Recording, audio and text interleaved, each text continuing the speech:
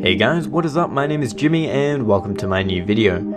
So in this video, what I'll be doing is covering some exporting settings in Adobe Lightroom 5. Now even though I am showing you these in Lightroom 5, the same process will apply to previous versions as well as versions that come after Lightroom 5. So no matter what version you have, you should be able to follow along fairly easily. So what I'll be covering in this video include the exporting settings, so just the basic settings that I use and I recommend people use, and then I'll also cover how to export for both full resolution as well as for the internet and then I'll also go over how to create some presets for these so let's jump right into it. The first thing that you need to do is bring up the exporting box so there's a couple of ways that you can do this. The first way and the way that I use is just right click on the photo, go to export and then export right there. However another way is to go up to file, export or as you can see there you can press Ctrl Shift E and the box will pop up right here. So you don't have to really worry about this stuff on the left hand side or up the top here, just make sure it's on hard drive and uh, let's jump right into the boxes down here. So the first category you can see here is export location. So obviously this is where you can choose where to export your photos to. Uh, so this first box up here is letting you choose specific folder, choose folder later which is useful for presets, and same folder as original photo. Now me, I usually choose specific folders since I like being able to choose exactly where my photos end up. But if you want all of your photos in the same place as your raw files, uh, then probably choose this one here and that way they'll all stay in the exact same folder. Um, but me, I'm going to pick specific folder. Now moving down to the next part, you can see the current folder which is selected is just the desktop. So what you can do then is click choose and you can choose kind of desktop downloads or you can make a folder in your photos like I do here um, but usually if I'm working on one shoot, I just like to keep it on my desktop temporarily. And the best way I've found to do this is choose desktop here and then check put in subfolder. And then what you can do then is change this to whatever you want and it'll automatically create a folder on your desktop. So for me, I'll just keep it at full resolution as it is there. Um, so existing files, ask what to do, choose a new name, overwrite or skip. I would recommend keeping it always on ask what to do and that way if you do already have a file with the same name there it's going to ask you to choose a new name or if you want to skip it or overwrite it instead of just doing one without any warning. Okay now moving down to the file naming tab you can see you can just uncheck this box here which will keep it as the exact original file name. Otherwise if you check this box and go down this list here you can see you have a few different options so you can choose a file name, the file name and then a sequence which will be a number uh, a date and then the file name, the custom name, a custom name in a sequence, and so on and so forth. Otherwise, you can click edit here and then choose from a whole list and you can customize your file names from there. For me, I just keep it as the file name since I don't export too many photos from Lightroom directly. I usually do some editing in Photoshop and then export them from there. Okay, so moving down to video, we don't need to worry about that. And moving down to file settings. Now this is where you have complete control over the format of your file, the quality, and all the color settings and stuff like that. So the first box we have here is image format. So you can choose to export it as a JPEG, which I would recommend. Um, otherwise you can choose PSD, TIFF, DNG, or original. Now I would just recommend keeping it as JPEG. Quality you want to keep as 100 if you're exporting for full resolution. And color space, sRGB is fine. Okay, so moving down to image sizing. Um, I'll go over this in just a moment, but this is the tab here where you can pretty much choose what dimensions you want your photo to export at. Um, if you just uncheck it there, it'll export at the original and it won't try and resize it at all. Um, now moving down to output sharpening, I'd recommend keeping this unchecked.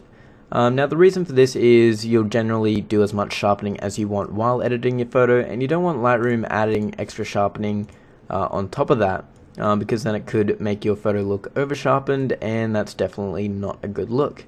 Um, now metadata, all metadata, I would probably recommend keeping that checked.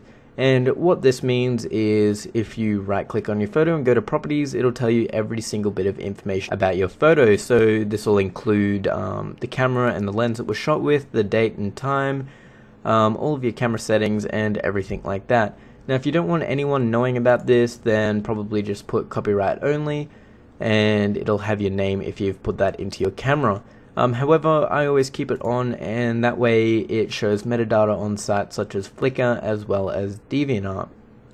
Um, so watermarking, I generally do mine in Photoshop, so don't worry about that unless you want to do that.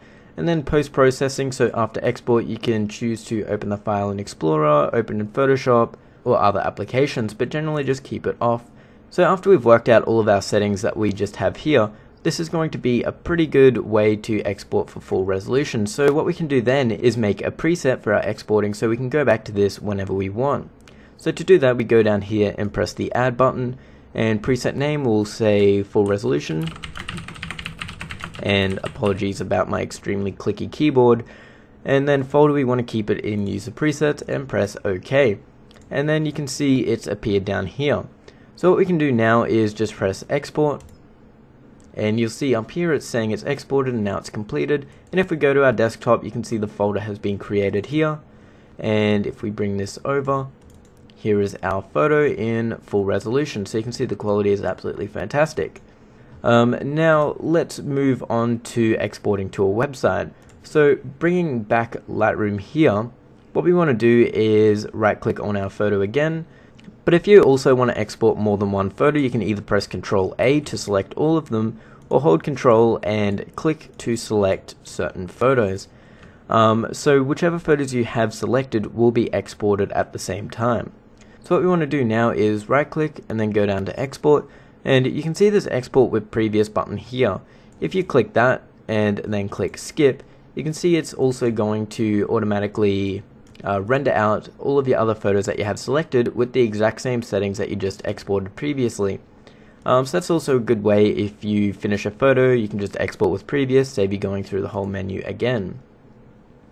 Okay, what we want to do now is go back into our exporting menu, and this time we're going to export for our website. So what we can do now is change put in subfolder to website, or low resolution, or whatever you like, and moving down we can just skip most of these since we don't need to worry about them now.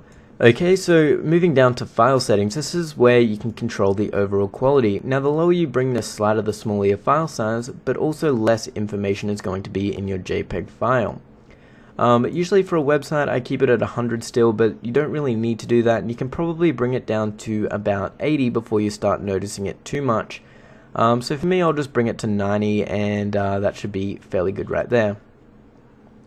Now, this is where image sizing is going to come in handy. Obviously, you don't need to upload your full resolution files to your website, um, unless your website is displaying really big photos, and in that case, uh, feel free to do that. But on my website, the images are fairly small, and if I were to upload full resolution files, um, it would either be too big to upload, or it'll just take way too long to load. Um, so this is where resize to fit is going to come in handy. Now if you click on this drop down menu here you can choose from a few different options. I generally recommend using long edge. Now you can see one of those boxes has disappeared and we've only got control over one value here. Now what this value means is uh, it's automatically going to resize the short edge depending on what you choose for your long edge. So for my website, I think the minimum is 1,500 pixels across, or it might be 1,000, um, but for me I'm going to choose 1,500 pixels on the long edge and that way it's automatically going to resize the shorter edge so it keeps the exact same aspect ratio. What we can do now is go over to our resolution box and you want to change this from 300 to 72. Now the reason for that is most monitors people say can't see over 72 pixels per inch now some people disagree and I'm sure there's some monitors out there like some newer high resolution monitors that can display more than that but for most people probably their monitors won't display more than 72 pixels per inch or they won't notice if it is displaying over that. Um, so you can keep it at that or you can raise it a bit higher if you want um, but 72 ppi should be fine. Other than that, everything is totally fine, and we can add another preset down here and call this website export. And click create. Now you can see if we just go up to the top here and we flick between these two, you can see the settings are all changing. Uh, so yeah, now we have these two different presets here and we shouldn't need to ever change anything else in our Adobe Lightroom export settings and we should just be able to rely on these two presets for everything. So choosing website export, let's just press export and it should be a bit quicker this time since the files are a lot smaller. Opening this folder up here, you can see we have all of them that are resized to 1500 pixels on the longest edge. Now just showing you metadata, if we right click and go to properties, then go to details, you can see going down here, you can see I shot it on a Canon, you can see the exact model, the exact settings, and you can also see the exact date and time that I shot this. So I shot this on the 10th of December at 6.32 at night. Okay, so thank you very much guys for watching. I hope this answered a few questions which I've been getting lately. And uh, that's pretty much the exporting settings I use for Facebook, my website, and just keeping the full resolution files on my computer. So thank you very much for watching guys, I hope this helped answer any questions that you had. Uh, if you did enjoy the video, I'd appreciate it if you hit that like button to help my channel out and you can subscribe for future videos. If you do have any ideas for future videos, be sure to leave them in the comments down below. And uh, otherwise, I'll see you guys in the next video. Goodbye.